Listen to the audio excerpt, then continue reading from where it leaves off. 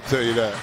Oh, Zoo pocket picked by Kalaitzakis, and then he misses the dunk. And Yeah, but even though it's the end of the year, he will be on Shaqtin the Fool for this one right here. I mean, and now you not only that, you take your time and then you lose it. I mean, just my man, that's just film session.